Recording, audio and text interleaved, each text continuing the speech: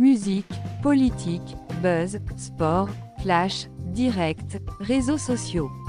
Bienvenue sur Influence TV, la chaîne des actualités d'ici et d'ailleurs.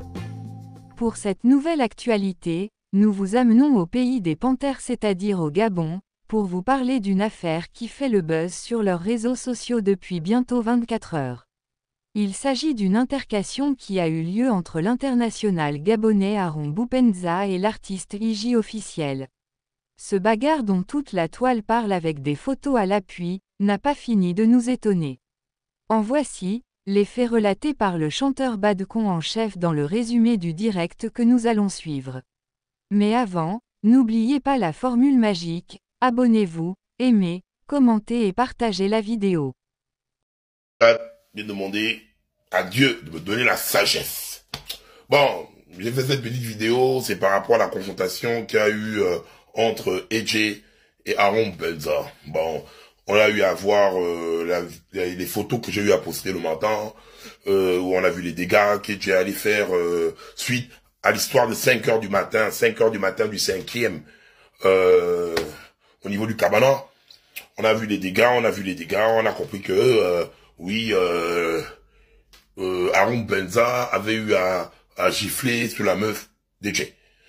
D'où, euh, tout comme Don Diego dans le CID, et j'ai décidé, après un soufflet, d'aller venger sa campagne. ciné. Dans la vie, il faut toujours avoir les deux versions. Donc du coup, je suis allé parler avec le petit Aaron Benza. En parlant avec lui, j'ai eu aussi à avoir sa version des faits. Maintenant, Comment ça s'est passé? Euh, Ils sont allés au niveau du cabana, boire. En allant boire, euh, dans le groupe de Aaron il y avait une petite fille qui était à l'intérieur, genre un petit gibier. Mais le gibier qui était avec eux là, c'était l'ex de AJ. L'ex de AJ. Dans un micmac, c'était l'ex de AJ qui était avec le groupe de Aaron. Maintenant, l'Angadéji, la mère du Mouna, la mère du Mouna de Edje, rôdait parce qu'elle voyait genre l'ex de son gars à côté, des trucs de jalousie d'un gars, des trucs de jalousie d'un gars. Donc elle faisait un peu les manières bizarres, Penza a senti qu'il y avait une tendance qui était un peu genre électrique entre les deux goûts. Maintenant, vers les 5 heures du matin, les 5 heures, quand les gars bougent, ils sentent qu'il y a une charme qui se passe derrière. Dans la charme, c'est la meuf de, de AJ, qui est en train de vimba, de bastiller, genre, la go qui était avec euh, l'ex de AJ, mais qui était avec les Boupens. Donc, elle se met maintenant à bastiller la meuf. En bastillant l'anga, elle met l'anga au sol, elle prend la bouteille, elle veut flanquer la bouteille à l'anga à la tête. C'est là où les gars interviennent pour arracher d'abord le way et essayer de calmer la, la, la go de AJ. C'est là où la go de AJ pète les plombs. Elle pète les plombs, quand elle pète les plombs, elle pète les plombs en mode, elle dit à Boupenza, tu es qui C'est là où Boupenza a mis une cymbale. C'est où la cymbale? Parce que pour Aaron, c'est du genre, la petite était là dans le Jones ouais, Jones trop. Il a mis une cymbale, ah, calme-toi, reviens sur terre. Parce que là, imagine-toi que tu flanquais la bouteille sur la tête de l'autre, quelque chose arrivait, nous sommes au début d'année. Donc, quand il y a maintenant eu à baffer l'anga, euh, Langa a eu appelé AJ. AJ n'était pas en train de dormir, il était au DTP. C'est là où débarque directement là-bas.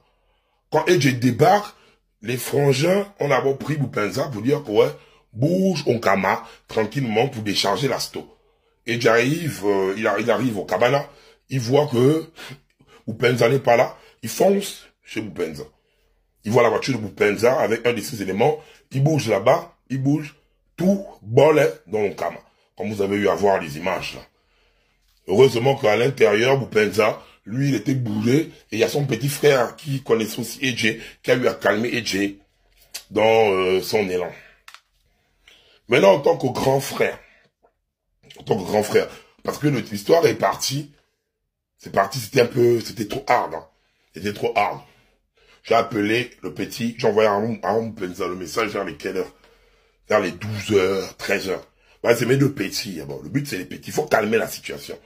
Donc, j'ai demandé maintenant ce soir, quand j'ai parlé avec lui, voilà ce qu'il en ressort. C'est que là, il y aura une audience Il y aura une audience et tout. Mais AJ est libre. Il y aura une audience qui est prévue pour la semaine prochaine afin de parler de cette histoire. Il y a une leçon à retenir et que je vais interpeller mon petit frère AJ. Tu as vu comment, euh, pour la femme, tu as failli mettre ta vie en danger. En fait, tu as réagi sans réfléchir. Ok, il a eu à baffer Tanga. Si tu étais au cabana, tu es arrivé au cabana, tu faisais la fight avec lui, sur place. Parce qu'il peut-être, tu as trouvé le gars assis et tout, dans la colère, hein, parce que quand on a bafé Tanga, ta dignité est touchée, tu peux péter un plomb. Sur place, ok. Mais la, la sagesse demande d'abord demander à qu'est-ce qui s'est passé? Mais vu qu'on a bafé Tanga, ah là, la sagesse, on met ça à côté, tu vas venir, tu vas sur place. Sur place. Mais quand tu bouges, il y a violation de domicile et destruction des biens. Dans la colère, tu es parti. Boum, Et là, maintenant, comment ta vie peut basculer dans le fil comme ça? Boupenza a dit qu'il ne, sera pas là pour te faire du mal. Il ne sera pas là pour t'envoyer un gata. Et parle avec lui. Il ne sera pas là pour t'envoyer un gata. Et c'est tout à fait logique. Tu vas payer les dommages et intérêts. Mais si tu es malin, tu es malin dans cette histoire-là, hein, faire une vidéo où tu présentes des excuses à ton frère, et puis on avance dans l'histoire là. C'est un conseil que je te donne. C'est un conseil. Parce que tu es parti à domicile. Même si tu as dit oui, je suis venu venger Manga. Si même dans la logique, c'est gars qui devait porter plainte, peut-être beaucoup et blessure, avec un certificat médical à Boupenza par rapport à la GIF. Mais Boupenza ne t'a rien fait à toi. C'est rentre dans la loi, de façon logique. Il fallait que tu aies un peu ce recul. Mais on comprend aussi, c'est la chaleur, c'est la chaleur, c'est normal aussi. Hein. Mais dorénavant, réfléchis avant de poser des actes comme ça. Parce que vous avez fait plus de 10 millions de dégâts de matériel. C'est un professionnel qui est là-bas. Il pouvait vous dire que dans ma chambre, mais dans ma maison, il y avait 50 millions. Tu devais sortir l'argent là. Parfois, il faut apprendre à réfléchir. Toi aussi, vous pensa. Crame-toi ton histoire de Vimba là, de Baflé Lenga. Là, dans le cas là, on peut dire ok, tu as mis la cymbale pour calmer la petite go. Mais vous, les joueurs de l'équipe nationale, vous avez toujours une histoire où vous aimez bafler les gars dans vos plans. Pour la petite, ok, on peut dire ok, dans ta version que tu m'as expliqué aussi. Là, c'est ta version. Peut-être aussi la petite fille aussi m'a écrit pour dire que grand, voilà ma version. Vous m'appelez pour me donner sa version. Là, c'est ta version que je suis en train d'interpréter. Mais vous aussi, en général, vous avez cette habitude de bafler les gars. Vous êtes des joueurs, vous bassiez les gars. Vous avez quel le sens? Faut vous calmer. Je suis en mode retraité. Je suis, vous voyez comment je parle. Il y a une lumière qui est en haut là. C'est comme si le Saint-Esprit était sur ma tête. Ne venez pas faire ce que je m'énerve. Parce que, si j'allais faire un tombeau vert là, c'est que je vais vous faire avec tombeau vert. Mais vous êtes deux petits. Réglez ça à l'amiable.